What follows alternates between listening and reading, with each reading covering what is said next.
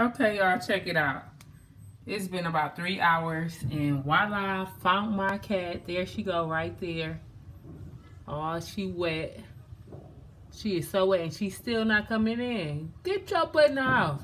I had to set some uh, food down. I knew if I set some salmon down, she was going to come right back. So, she's back.